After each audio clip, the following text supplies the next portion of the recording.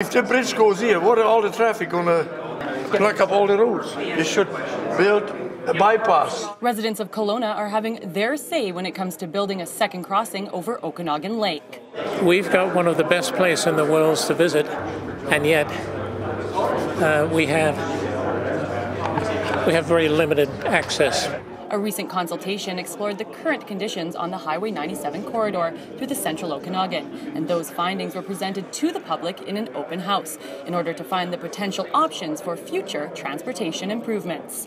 When we show the condition, the, the condition, the operating condition of the highway, you can see the areas that currently are experiencing congestion, uh, where there are maybe some safety concerns, and these are all helpful to us as we look both at what can we do or what should we do in the in the immediate or near term, and, and what might be part of a future crossing of the lake. The five lane W.R. Bennett Bridge opened in 2008, and it's estimated the bridge would serve the region's traffic for 25 years or more. And traffic counts confirm this to still be the case. However, a planning process on the second crossing is underway. Well, the second crossing itself is, is, is, is, is you know, many, many decades away. It's a few decades away before it has to be in place. It's about capacity in the system. Um, so that timeline, when and, and where? Should it be Judy's Bridge across the lake from the end of the, uh, the connector? That would be kind of interesting.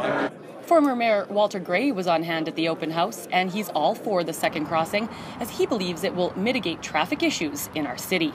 I can envision a second crossing that would also be the truck route so that all trucks that currently come across the W.R. Bennett Bridge would no longer come that way, which would keep trucks off Harvey Avenue, Highway 97, and they would take the other way around. So that would be a benefit of a second uh, crossing, no question. And it would, uh, it would divide the traffic.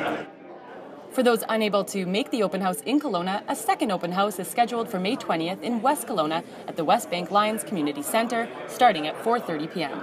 Or you can go online at engage.gov.bc.ca slash Okanagan Second Crossing. For Castanet News, I'm Jen Zielinski.